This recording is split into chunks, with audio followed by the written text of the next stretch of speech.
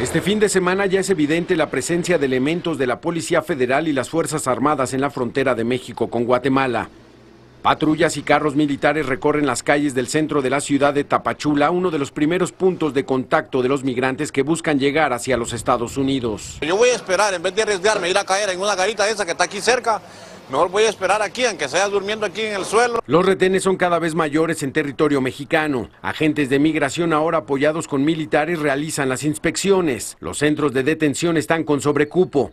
Lugares para 400 personas ahora tienen más de 600. Esta mujer hondureña que viaja con sus hijos dice que sabe que el camino a Estados Unidos es cada vez más complicado. Encomendarse a Dios y sobre todo hacer la lucha. Si se sabe que este camino no es fácil. Este otro inmigrante está consciente de que el recorrido le llevará mucho más tiempo. Ellos me piden que yo me espere para buscar los papeles, pues voy a esperar. Sé que es duro porque, como ustedes saben, en México ahorita pusieron más duras las leyes y aquí parece que están deportando a los, a los migrantes.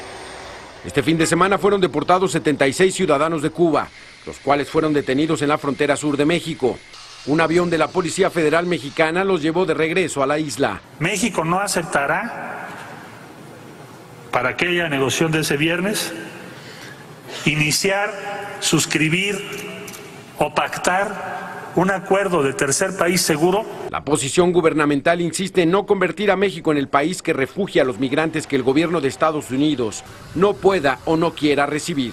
Autoridades mexicanas se comprometieron con el gobierno de los Estados Unidos a desplegar 6.000 elementos de la Guardia Nacional, estos integrados por policías federales, militares, navales y además de elementos del Ejército y la Marina, todo para detener la migración hacia el norte del país.